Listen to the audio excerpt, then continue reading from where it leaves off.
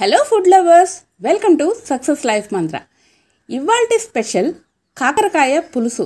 Already మనం ఉల్లికారంతో కాకరకాయ వేపుడు అనే వెరైటీ చేసాము.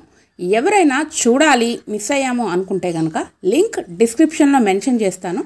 దాని ద్వారా వెళ్ళి ఈ కాకరకాయ రెసిపీస్ని తెలుసుకోండి. ఈ కాకరకాయలో డిఫరెంట్ టైప్స్ ఆఫ్ వెరైటీస్ చేయొచ్చు. ఈరోజు మనం కాకరకాయ పులుసు ఎలా చేయాలో నేర్చుకుందాము. ఇక్కడ తాలింపు దినుసులు పెట్టె గురించి కొంచెం వివరంగా చెప్తాను. తాలింపు దినుసులు పెట్టంటే మన ఆరోగ్యానికి చిహ్నం. కిచెన్ డాక్టర్ అని మనం చెప్పచ్చు.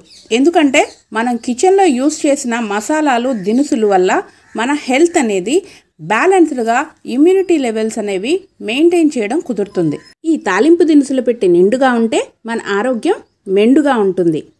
సో మన కిచెన్ డాక్టర్ తాలింపు దినుసులు పెట్టితోటి మనం ఈ కూర స్టార్ట్ చేసేసుకుందామా మరి? కూర రెడీ చేయడానికి ముందరే ఒక పావుగంట ముందు చింతపండు కొంచెం నానపెట్టేసుకుని కాకరకాయలు చిన్నగా కట్ చేసేసుకుని అలాగే ఉల్లిపాయలు కూడా చాప్ చేసి పక్కన పెట్టేసుకుని ఒక పచ్చిమిర్చి కూడా యాడ్ చేసుకోండి.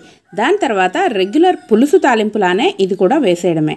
ఎండుమిర్చి పచ్చిశనగపప్పు మెంతులు ఆవాలు జీలకర్ర ఇంగువ పసుపు ఇక్కడ ములగాకు పొడి కూడా నేను యూజ్ చేస్తానండి తాలింపుల్లో. రెగ్యులర్గా వాడతాను ములగాకు పొడి. రోజు నా కూరలో ఒక స్పూన్ ఉండాల్సిందే.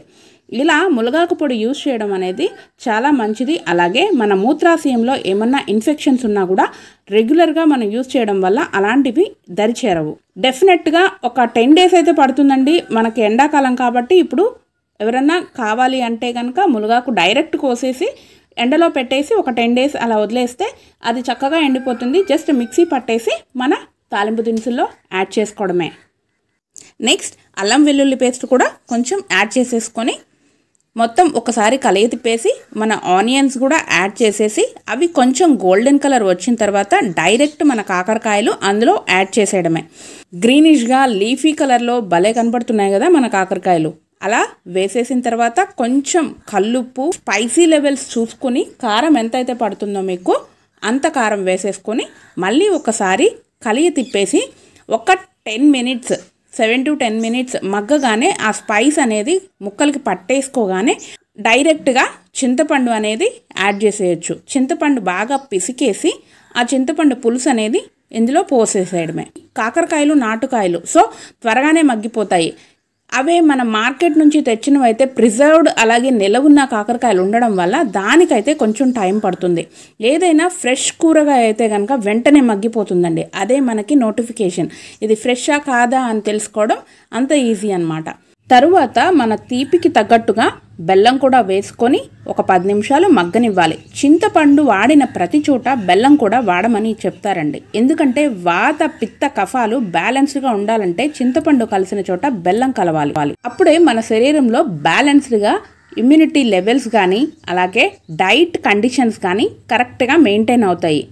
సో ఇలా మొత్తం మగ్గిన తర్వాత మనం బౌల్లోకి సర్వ్ చేసేసుకొని అందరికీ ఆహ్వానం పలకేయడమే.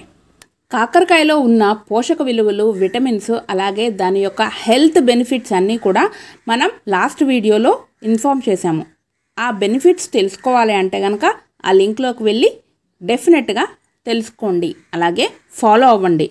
లింక్ డిస్క్రిప్షన్లో ఇవ్వడం నేను మర్చిపోను చూడటం మీరు మర్చిపోవద్దు. ఇంకా ఇలాంటి హెల్దీ అండ్ స్పైసీ రెసిపీస్ మన ఛానల్లో చూడాలంటే సక్సెస్ లైఫ్ మంత్ర ఛానల్ని సబ్స్క్రైబ్ చేసుకోండి. అలాగే పక్కనున్న బెల్ ఐకాన్ ప్రెస్ చేసి ఆల్ అని క్లిక్ చేయండి. నోటిఫికేషన్స్ ద్వారా వీడియోస్ అన్నీ ఫస్ట్ డే మీరు చూడటం జరుగుతుంది. ఇంకా లైక్ చేయండి షేర్ చేయండి అలాగే కామెంట్ చేయడం మర్చిపోవద్దు. Yours Geetha signing off.